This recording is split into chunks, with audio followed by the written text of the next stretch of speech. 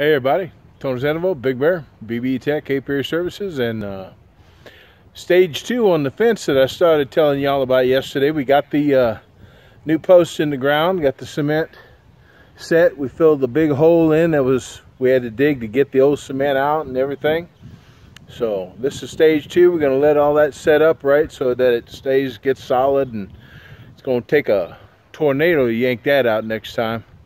But uh, we're gonna get this done. We're gonna come back after that sets probably, I'm thinking maybe a day or two, a couple days here, maybe Friday, and we're gonna come back, we'll put the panels up.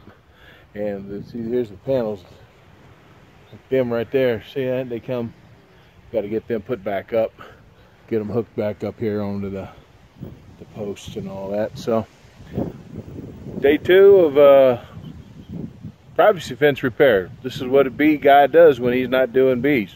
Well, at least that's what this one does.